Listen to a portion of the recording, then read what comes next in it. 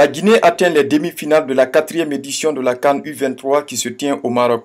Ce, grâce à son nul un but partout face au Ghana ce soir au Grand Stade de Tanger dans le cadre de la troisième et dernière journée dans le groupe A, où le Sili Espoir termine deuxième, 4 points et plus 1 derrière le Maroc.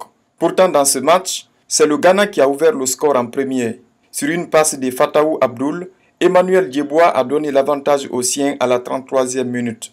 Un résultat qui donnait de l'espoir aux Ghanéens pour une éventuelle qualification, parce qu'aucun résultat ne pouvait leur permettre d'aller en demi-finale si ce n'est une victoire. Mais c'était sans compter sur la réaction guinéenne.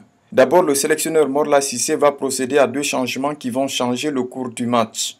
Fodé Kamara va céder sa place à Altine Souma à la 57e minute et Salifou Souma aussi va être remplacé par Al Simba à la 58e minute.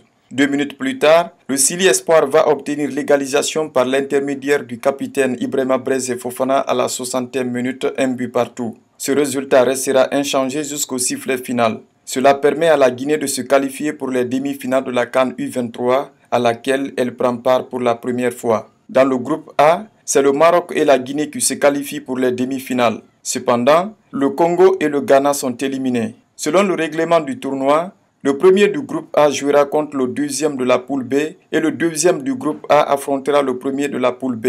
Il faudra attendre donc les derniers matchs du groupe B prévus ce samedi 1er juillet 2023 à 20h pour savoir l'adversaire de la Guinée entre l'Égypte, le Niger et le Mali. Les demi-finales auront lieu le 4 juillet 2023.